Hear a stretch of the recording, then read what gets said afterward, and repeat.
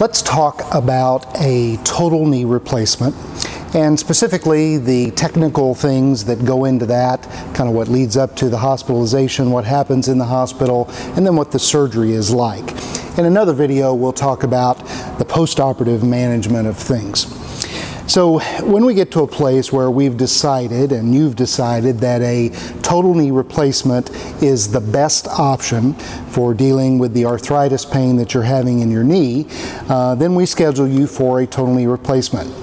As we've talked about in another video, there's a pretty extensive process that goes into planning your surgery and specifically trying to be sure that we have you medically optimized. That phrase medically optimized means that uh, all of your medical conditions are under uh, optimal control. We've identified or eliminated anything that we can. We've gotten you uh, mentally in shape for surgery and, and really prepared. So once all those things are done, done, then we move on to the surgery itself. So whether you're having your surgery at the surgery center as a pure outpatient procedure, or if you're having it at the hospital, either as an outpatient or as an overnight stay inpatient type procedure, uh, everything that I'm going to say is really about the same for a knee replacement. Patients arrive at the facility and then go to what's called the preoperative area in the preoperative area, you'll see a nurse who will interview you, ask you those same questions that everybody asks you multiple times about your allergies, any medicines you're on, and uh, which side we're operating on. You'll get that. You'll get asked that many, many times by everybody who comes in contact with you, just to be sure we're as safe as we can and that we're operating on the correct uh, body part. And then the next thing that will happen if you're going to have a knee replacement is in most circumstances you will get a nerve block called an adductor canal block. So a nerve block is a procedure that the anesthesiologist does where under ultrasound guidance they target some of the specific nerves that ultimately go to the front and to the inside of the knee. There's a structure in the body on the medial thigh, on the inner thigh, called the adductor canal. They target that and they put uh, a lot of numbing medicine right around the nerves at that area before they get down to the knee. Uh, doing an adductor canal block provides excellent pain relief uh, for really the first 12 to 24 hours after it's done, uh, and it is a great help to our postoperative pain management. We like to do that before surgery. So that involves a little bit of a needle stick. It's usually not very painful. It's done under ultrasound control, and most patients are very pleased that they have that done. They'll also prep your skin, they'll shave your leg, that sort of thing uh, to get you ready for surgery. Then you'll go back and have your surgery. Now, for the surgery, we generally use a general anesthetic. That means you go completely asleep. You either have an endotracheal tube, a tube down your throat, or sometimes just a device called an LMA, which is really more of an air sac uh, within the mouth. Either way, we're breathing for you with the ventilator, and we have complete control of your physiology. Occasionally surgeries are done under spinal or epidural anesthesia that involves a needle uh, in the spine area to numb it up. But really we prefer to do general anesthetic. We think we have better control uh, over your body's physiology. We think that's a little easier to wake up from and, and recover from after surgery. Once you're asleep, we will prep your leg. So the entire leg that's having a knee replacement gets cleaned thoroughly with alcohol and then gets one of a variety of different preps that we use.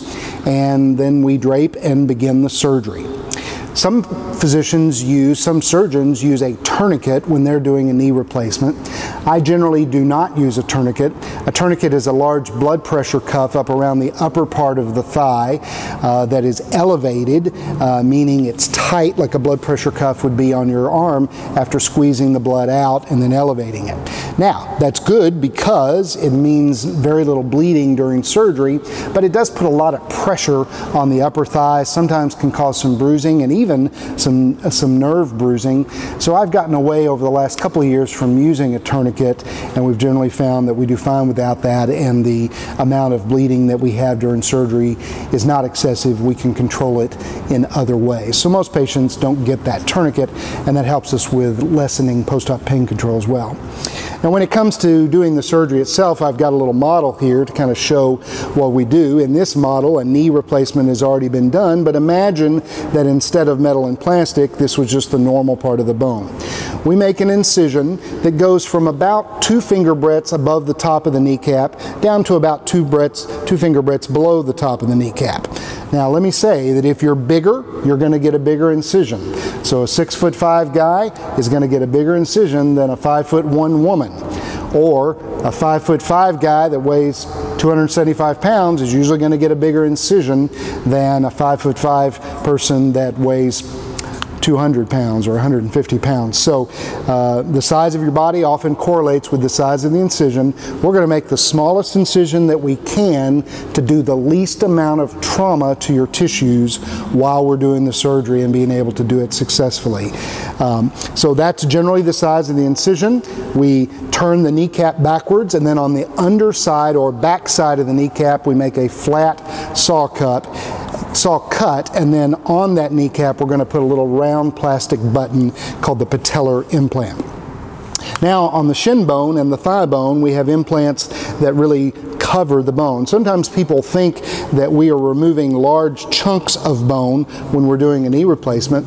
Really what we're doing is putting a metal cap on the ends of the bone.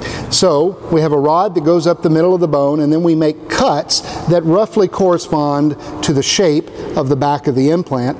Really not roughly correspond, they perfectly correspond to the back of the implant.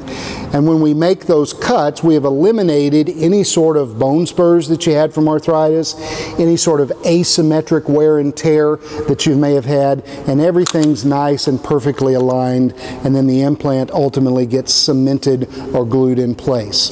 The same thing happens on the shin side of things. For most people going into a knee replacement surgery, their shin bone has become pretty crooked, and so we make a flat cut that's perpendicular to the overall length of the tibia, and then we have a metal cap that gets cemented into place with a plastic spacer, and those can be of various thicknesses.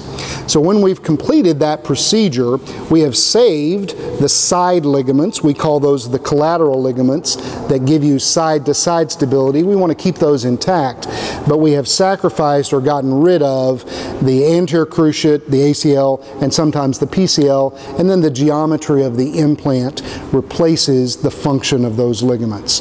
For most people, when we're done, we now have a leg that lines up perfectly, just like it's supposed to.